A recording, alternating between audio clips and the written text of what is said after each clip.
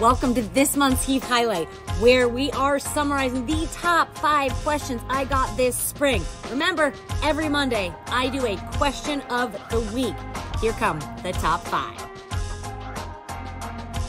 We are back in a very competitive market, and buyers' number one question is how do I know the value of the house? So let's talk at it from two different angles. Number one, we're gonna look at comps. However, looking at comps from 2023 can throw people off a little bit because let's admit, 2023 was not a hot real estate market. So, normally when we look at comps from the last six months, we're gonna have to look a little bit further back into 2022 to get an accurate idea of where things are gonna be in 2024 because we just don't have that much data in 2024 yet.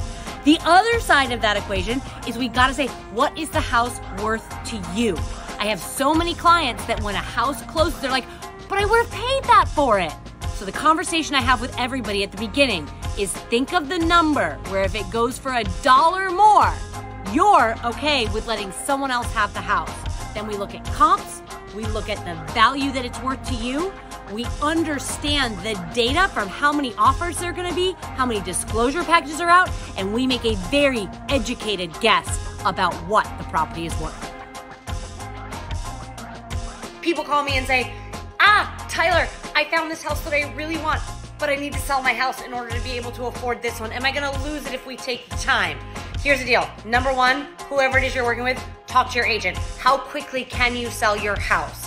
Understand the differences between selling your house off market, maybe not having to prep, do all of that. How quickly could you actually get that sold off market? And will that yield you the best results? If so, maybe you can put your house into contract and make the other house contingent upon the sale of your house. Not ideal in a competitive situation, but all things that you need to anticipate and talk about and understand. The other thing is you could get a bridge loan, which is basically a short term loan that a bank will give you based on owning parts of your home, right? A percentage of your home. They'll loan you the money to buy the next one before you close on your on your previous home. So a bridge loan can be a really useful tool, but always talk to your agent first. So when investigating a property that you're looking to buy, three very important things to investigate. Number 1, permit history, either on the RBR in Marin, the 3R in San Francisco, or calling the town or the city. Number 2, title report. Is there any money owed on the property? Are there any easements? Number three, really important in California these days, can you get the property insured? Those are three of the most important things you have to investigate. Okay, so people always ask me, what are the top three things I can do to my house to add value to my house? Three things, really easy. Number one, everybody likes a really nice kitchen.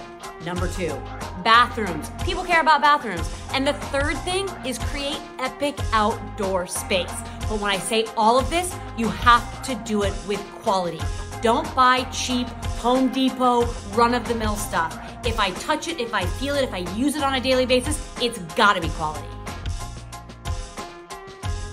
The question this week Tyler, why am I seeing all these price reductions on Zillow and Trulia? Well, it's here, the summer and the summer market does tend to slow down.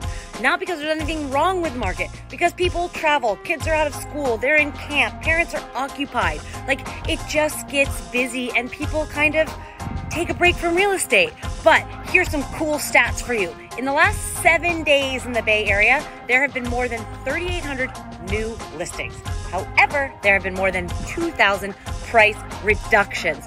That's because anything that's been on the market, people are like, oh, quick, hurry, I gotta sell before everyone leaves town for the summer. But we have also had over 2,900 properties go into contract, either pending or with a contingency, and over 2,500 properties have closed escrow in the last week. It's just our normal summer market. Keep your seatbelts on. So follow along on Instagram, send me your questions. I'm happy to answer. Happy July. Enjoy your summer.